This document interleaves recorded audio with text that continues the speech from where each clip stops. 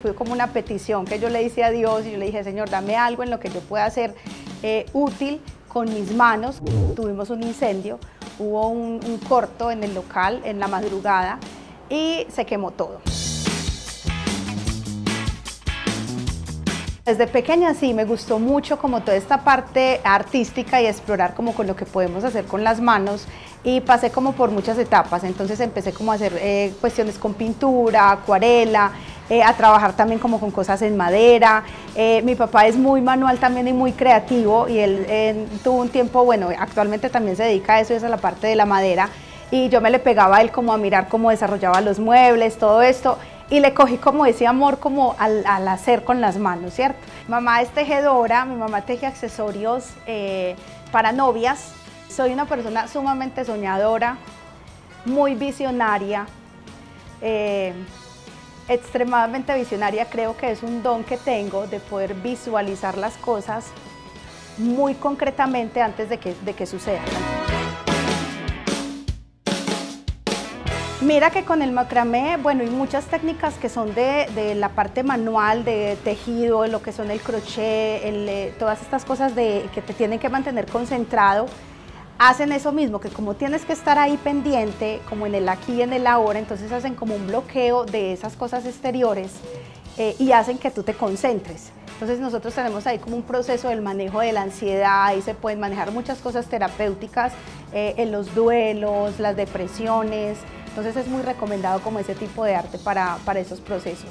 Y en esos momentos como de relajación que me permite el tejido, se generan también muchas ideas, eh, vienen incluso respuestas a, situaciones que estamos pasando y que ahí como en esa tranquilidad del tejido se dan. Entonces, eh, esa es como mi, mi sensación al momento de tejer. Me gusta mucho irme a la playa, ¿sabes? Tengo una cuestión como con la playa muy bonito, como el atardecer, el mar, el sonido, y como te hablo desde esa parte de la visualización, entonces me transporto muy fácil. Yo puedo estar aquí tejiendo, pero fácilmente mi mente está tejiendo al frente del mar, debajo de un árbol, entonces es muy bonito como esa parte de podernos transportar con nuestra mente donde queramos estar. El macramé para mí significa propósito, porque fue donde, donde encontré mi propósito de, de, ayudar y realmente es una herramienta. Para mí el macramé, eh, más que todo, es una herramienta muy bonita, me parece algo divino porque es algo que tú tienes simplemente un paquete de cuerdas, un, un, rollito de cuerdas y con la transformación de tus manos lograr cosas tan bonitas sin utilizar nada más, o sea, son las cuerdas y yo, no más.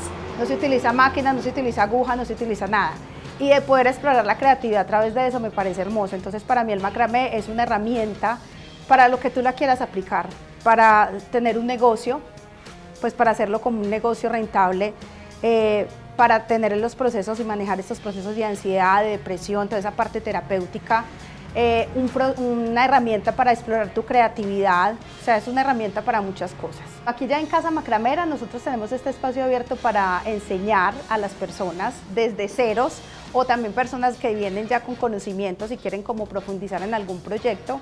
Eh, damos como tal talleres grupales, tenemos clases personalizadas, clases grupales también en semana, clases continuas, entonces hay una oferta como muy grande que se adecua como a la necesidad de cada persona. Tejido que yo disfruté hacer porque esto es un abanico impresionante de cosas y dentro de todo ahí está lo que es la lencería de hogar, la decoración, eh, la decoración para la mesa, vestuario, accesorios pequeñitos. A mí lo que más me gusta es lo que me genere como retos creativos. Entonces digamos los procesos que son como muy repetitivos no me gustan tanto.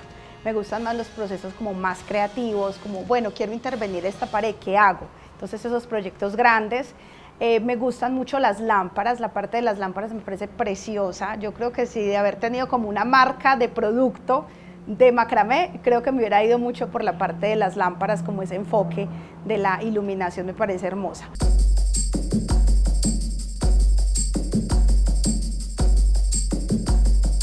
Mis poderes como emprendedora son la creatividad y las ganas de querer ayudar a la gente.